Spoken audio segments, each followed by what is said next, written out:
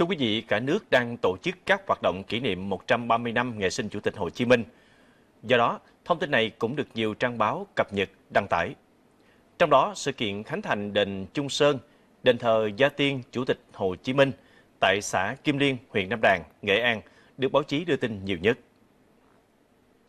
Theo thông tin đăng trên các báo, đền Trung Sơn tọa lạc ở phía nam núi Trung, mảnh đất nhân kiệt, niềm tự hào của vùng Kim Liên, Nam Đàn, nơi khơi gợi những năm tháng ấu thơ cội nguồn tâm hồn, trí tuệ Chủ tịch Hồ Chí Minh, cũng là một điểm nhấn sinh thái trong khu di tích quốc gia đặc biệt ở Kim Liên.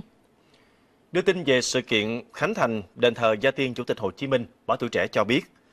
ngôi đền này nằm trong vùng dự án bảo tồn, tôn tạo di tích Kim Liên gắn với phát triển du lịch lịch sử sinh thái văn hóa núi Chung tỉnh Nghệ An.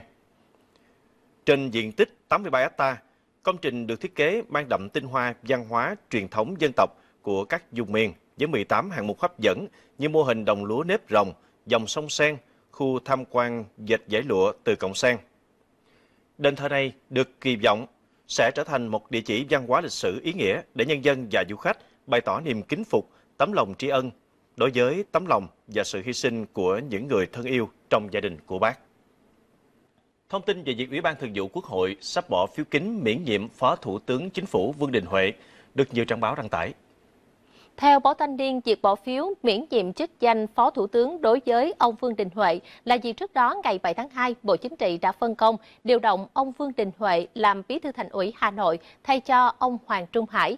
Tới ngày 19 tháng 2, Ủy ban Thường vụ Quốc hội cũng ban hành nghị quyết phê chuẩn kết quả bầu ông Vương Đình Huệ giữ chức vụ trưởng đoàn đại biểu Quốc hội khóa 14, thành phố Hà Nội. Liên quan đến việc miễn nhiệm chức danh Phó Thủ tướng Chính phủ Vương Đình Huệ, Báo Thanh niên cũng thông tin thêm.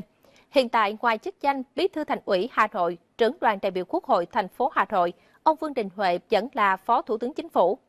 Chính vì vậy, theo quy định, việc miễn nhiệm chức danh Phó Thủ tướng của ông Vương Đình Huệ phải do Thủ tướng Chính phủ đề xuất và được Quốc hội phê chuẩn tại kỳ họp Quốc hội thường kỳ trong năm.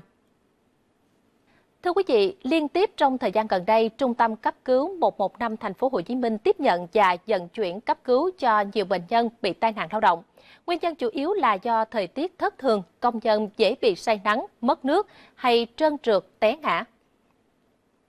Bên cạnh sự chủ quan, lơ là của người lao động, còn có nguyên nhân từ việc thiếu trách nhiệm của người sử dụng lao động.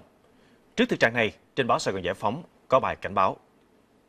Trong bài viết cảnh báo tai nạn lao động, phóng viên báo Sài Gòn Giải Phóng thông tin, thống kê của Bộ Lao động Thương binh Xã hội trong năm 2019, toàn quốc đã xảy ra trên 8.100 vụ tai nạn lao động, làm 927 người chết. Tổng chi phí bồi thường cho tai nạn lao động và thiệt hại tài sản gần 10.500 tỷ đồng. Những mất mát về sức khỏe, tính mạng và thiệt hại vật chất cho tai nạn lao động là rất lớn, để lại những nỗi đau cho nhiều gia đình, tăng gánh nặng cho xã hội và gây thiệt hại lớn cho nền kinh tế. Mặc dù Việt Nam đã cơ bản khống chế được dịch bệnh COVID-19, nhưng việc khôi phục kinh tế còn gặp nhiều khó khăn. Theo phản ánh của báo Việt Nam Net, hiện tượng cung vượt cầu cộng với ảnh hưởng của dịch Covid-19 khiến doanh số bán ô tô ngày càng lao dốc. Dự báo giá xe tiếp tục giảm và nhiều doanh nghiệp đối mặt với nguy cơ thua lỗ dừng hoạt động. Báo Việt Nam Net dẫn chứng số liệu của Hiệp hội các nhà sản xuất ô tô Việt Nam, doanh số bán hàng toàn thị trường trong 4 tháng đầu năm của ngành ô tô chỉ đạt 60.800 xe các loại, giảm 36% so với cùng kỳ năm ngoái. Dự báo của các doanh nghiệp cho thấy tình hình bán hàng 2 tháng còn lại của quý 2 năm 2020 cũng rất ảm đạm. Nhu cầu mua xe giảm chưa rõ kéo dài bao lâu, các doanh nghiệp khó có thể khôi phục lại sản xuất như kế hoạch đề ra. Để duy trì hoạt động, các doanh nghiệp ô tô kiến nghị chính phủ cần có chính sách kích cầu như giảm 50% lệ phí trước bạ và 50% thuế giá trị gia tăng cho khách hàng khi mua ô tô. Tuy vậy, Bộ Tài chính lại không đồng tình và đã bác bỏ các đề xuất này.